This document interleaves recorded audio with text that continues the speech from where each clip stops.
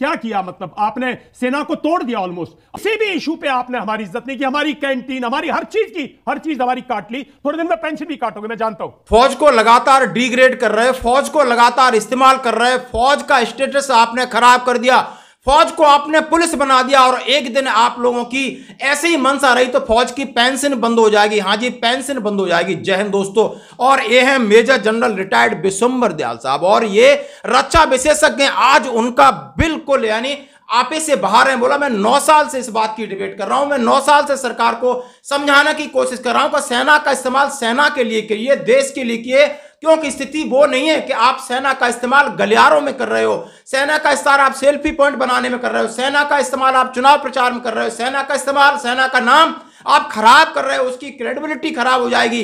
और देश के लोग भी बोलेंगे कि ये सेल्फी पॉइंट पर एक जेसीयू जवान खड़ा है, सरकार की नीतियों का प्रचार प्रसार कर रहा है, ये पुलिस बनकर रह जाएगी, जैसे आज पुलिस की क्रेडिबिलिटी ज़ीरो है। उसके अंदर कोई भी हीरो हो सकता है, लेकिन यार पुलिस है, छोड़ो, ये किसी काम की नहीं है। ये लूट खसोट करती है, गुंडों का संरक्षण करती है, नेताओं को पीछे भागती है। ऐसे ही आप फौज को बनाना चाहते हो और ये स्टेटमेंट है। आप एक टीवी चैनल के ऊपर बहस हो रही है, और major general retired Vishambar Dayal है। साहब हैं, मैं उनको सल्यूट करता हूँ, रक्षा विशेषज्ञ हैं, उन्होंने क्या कहा है? सेना को इन गलियारों में, देश की गलियारों में मत भटकाओ। क्या किया मतलब? आपने सेना को तोड़ दिया ऑलमोस्ट किसी भी इशू पे आपने हमारी इज़्ज़त नहीं की, हमारी कैंटीन हमारी हर चीज़ की, हर चीज़ हमारी काट ली। थोड़े दिन में पेंशन भी काटोगे, मैं जानता हूँ। ले, कहीं कहीं चाइनीज़ एजेंसी चार चार बेवकूफों पैसे देके खड़ी कर देगी। वो सवाल पूछने लग जाएँगे, जवान से जेसीओ से, जो भी उस सेल्फी पॉइंट पे खड़ा होगा। वो बेचारा क्या जवाब देगा?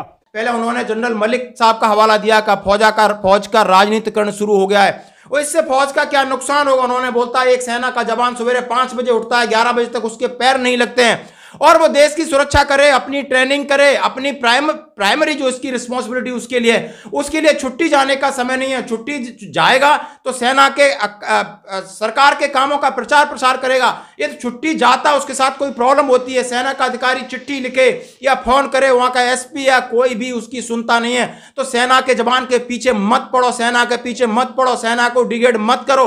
वैसे ही आपने अग्निवीर ला करके इसको तोड़ दिया कमज़ोर कर दिया। दोस्तों, इतनी बड़ी बातें अब टीवी पे खुलेआम होने लगी हैं।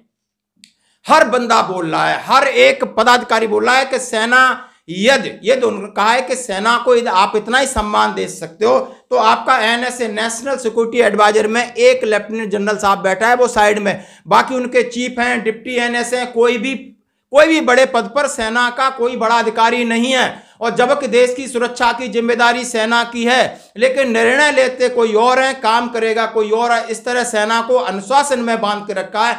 माना कि सेना के अंदर, माना कि सेना के अंदर अनुशासन है और सीनियर अधिकारी आपकी बात को समझ रहे हैं और मान रहे इसका मतलब ये नहीं कि उनके दिल की बात भी पूछियो नहीं तो पाकिस्तान जैसा हाल हो जाएगा। उन्होंने पाकिस्तान का भी ज़िक्र किया इसमें, पूरे स्टेटमेंट में।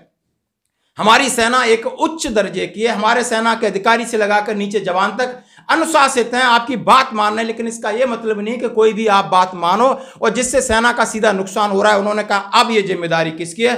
उन्होंने कहा, जो रिटायर्ड हैं, जो जनरल साहब हैं या बड़े बड़े सीनियर अधिकारी हैं, उनको अब खुले मंच पर आ जाना चाहिए। सरकार की इन नीतियों का विरोध करना चाहिए, जिससे कि सेना का नुकसान होता है और सेना के ज़रिए देश का नुकसान होता है। ये सिर्फ़ पॉलिटिकल फ़ायदा के लिए सेना का इस्तेमाल कर रहा है। ये सरासर गलत है। पहली बार इतना बड़ा प्रहार, पहली बार इतना बड़ा प्रहार। और ये आप देख सकते हो, एक टीवी डिबेट पे होला, उन्होंने कहा सेना को देश के गलियारों में सेना का नाम मत उछाओ।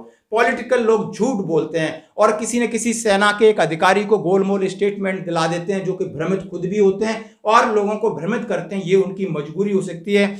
आज चिंता का विषय उन्होंने कहा डिबेट करना चिंता का विषय नहीं, चिंतन का विषय है। चिंतन का विषय और जो बड़े बुद्धिजीवी लोग हैं, इसके ऊपर चिंतन करना चाहिए कि सेना को, सेना का काम करने दो, सेना की ट्रेनिंग करने दो। सैनिकों के लिए वैसे ही बहुत सारा काम है। सवेरे पाँच बजे से ग्यारह बजे तक सैनिक रहता, अपने काम करता, उनको मत छेड़ो, उनको मत इस्तेमाल करो। उन्होंने कहा है कि इसी तरह सेल्फी पॉइंट में जेसू जवान खड़े कर दे जाओगे बहुत सारी सिक्योरिटी, बहुत सारे लोग चाइना के और पाकिस्तान के ऐसे एजेंट जाके सवाल पूछेंगे। तमाम आपकी सिक्योरिटी भी लीक होगी, लेकिन आपने कुछ सोचा, क्या समझा? यानी इन्होंने बोला, ये सरकार फौज की कभी हितैषी नहीं रही है, ये सिर्फ़ ढकोसला करती है। ढकोसला वर्ड लगाया कि आप जाके सैनिकों का नाम लेते, सैनिक सेना के साथ खड़े होके सब कुछ काम कर लेते, ये सब गलत है। उन्होंने कहा है आपने कैंटीन फैसिलिटीज़ बंद कर दी, अग्निवीर अग्निवीर योजना लगा दी, इसके साथ साथ आप पेंशन भी बंद करने का पूरा पूरा प्लान है। सर सरेआम एक मेजर जनरल साहब कर रहे हैं और बिल्कुल उनकी मंशा है, वो देश हित की बात कर रहे हैं, सेना हित की बात कर रहे हैं। नेताओं के सामने अब ये शब्द सामने सवाल खड़े करने पड़ेंगे।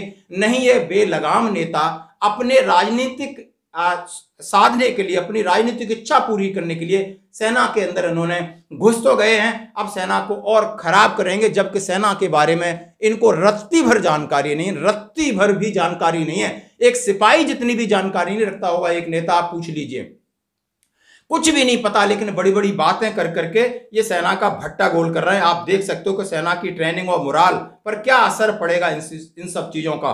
ये तो कोई ऐसी स्कीम है जहाँ सेना प्रचार कर रही है तो क्या सेना के परिवार के लिए इससे कोई फ़ायदा है? नहीं है। फिर काहे को फालतू में इतनी दुनिया है 140 करोड़ घूम रही है, और किसी को खड़ा कर लो। जो भी ढोल बजवाना है, बजवा लो, कम से कम सेना को तो बख्श तो ये सारी बातें इस वीडियो का थोड़ा अंश भी मैं आपको दिखाऊँगा कि उन्होंने कब कहा, कैसे कहा, और आप समझ सकते हैं, इसके ऊपर ज़रूर कमेंट्स करना, धन्यवाद।